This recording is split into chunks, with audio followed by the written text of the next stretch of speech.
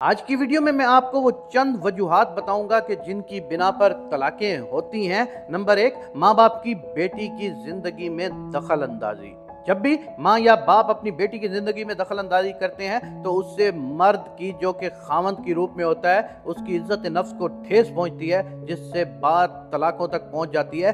बहनें, बहनोई और कज़न की बेजा मुदाखलत, बीवी और शोहर का घंटों मोबाइल फ़ोन पर मसरूफ़ रहना, घर से ज़्यादा देर तक घर के बाहर रहना, हर वक्त मेके में रहना, फजूल सोशल एक्टिविटीज़ में टाइम को ज़ाया करना, घर के खर्चों में मियाँ बीवी का मियाना रवि ना रखना, शोहर के वालदेन को इज़्ज़त न देना और शोहर को अपने ससुराल को इज़्ज़त न देना, बीवी की अना परस्ती खावंत को खुद से हकीर समझना, सबसे अहम मसला बीवी के हकूक का बराबर ना होना, औरतों का वो आज़ाद बाहर वाला टोला जिनकी नाक पर काला चश्मा और बेरोनक चेहरे और खुले ड्राई के हुए बाल होते हैं, यही औरतें शरीफ औरतों के घरों को बर्बाद करती हैं और तलाक़ें करवाती हैं। औरत का आज़ाद ख्याल होना और ख़ास कर महरम ना महरम में तमीज़ का ख्याल ना होना तलाक़ों की वजह बनती है। औरत की सोई हुई सोच और सुस्त होना, घर का कामकाज में बेतरतीबी होना यानी शोर के आते हुए सोना,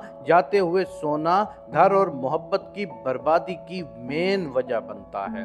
हर वक्त मैले बदबूदार कपड़े में सोना, उसी कपड़ों में उठना, औरत की मोहब्बत खा जाती है। नंगा सर, खुले बाल, जबान दराजी, बदतमीजी, बेहयाई औरत की हया, इज़्ज़त और मकाम खा जाती है। औरत का हर किसी से घुल मिलकर हंसना, रिश्तों का तमीज़ ना करना, मर्द के दिल में शक का बीज पैदा करने के बराबर है।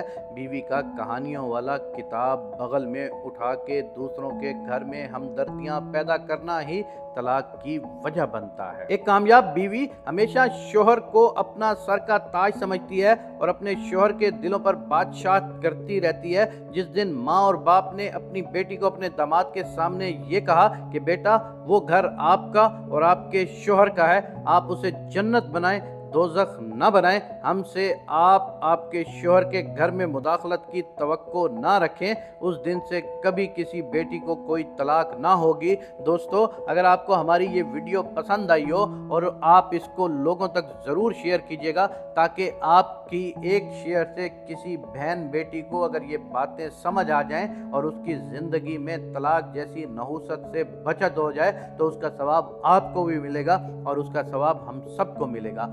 बेटी का काम होता है। जो बीवी होती है, वो बेटी होती है। उसी का काम होता है घर को बना के रखना और घर को निखार के रखना। वो जब अपने शोहर के घर आती है, यानी अपने हकीकी घर में आती है तो उसका काम है वो उस शोहर को बादशाह बना के रखे और उस घर की खुद मलका बन जाए। अल्लाह तबारक ताली हम सब की बहनों, बेटियों को अपने शोहर के साथ, इज़्ज़त और एहतराम के साथ रहने की तोफ़ी इनायत फरमाएँ। आमीन या रब्बुल आलमीन।